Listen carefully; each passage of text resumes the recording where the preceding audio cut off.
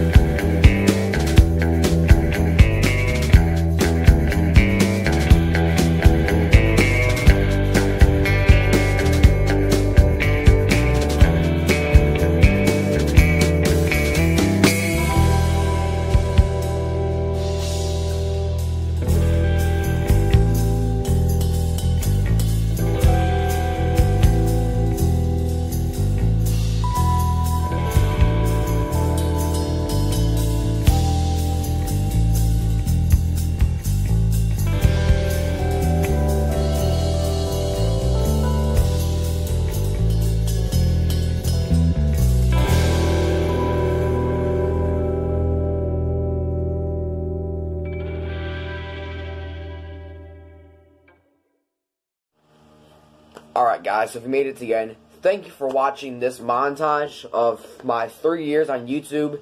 It's been a wonderful journey, and I can't wait to see what's up and coming.